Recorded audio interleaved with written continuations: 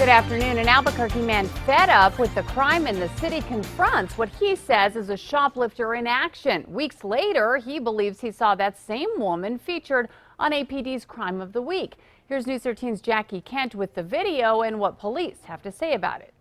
Yeah, Kim, the man says he sent us this video because he saw a story on News 13 earlier this week about a shoplifter, and he thinks this is the same woman, and police think he might be right. Ma'am, can you take that out of your bag? He says he caught her in the act. I just saw you put it in your bag. I'm recording you right now, too. A man who wants to stay anonymous says he was shopping at Smith's at Paseo in Wyoming last month when he saw a shoplifter and confronted her. Open up your bag. I sat there and put a freaking body wash in my freaking. Yeah, in your bag. Take it out. He followed her as she tried to get away. Do with kids? Damaging property now?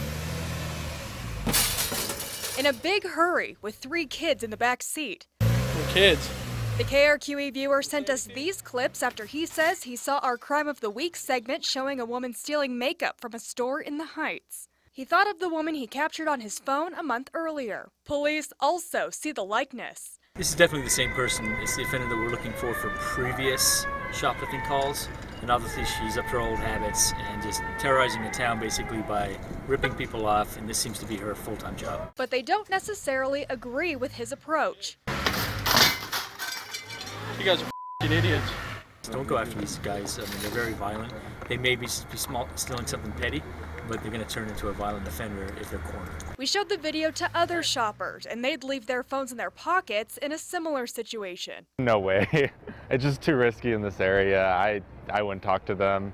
I might let security know, but beyond that, I wouldn't do anything. Even the man who took the video is having some second thoughts. Observing and reporting, there's nothing wrong with that. Intervening, there is an issue with that. The man says he believes the woman stole more than $500 worth of merchandise from that Smith's. He didn't turn on his camera until after she had put it all in her bag. Kim, back to you. Okay, thanks to Jackie. Now, there was a second woman featured in that crime of the week with the makeup thieves, you might remember. Police believe they have identified her.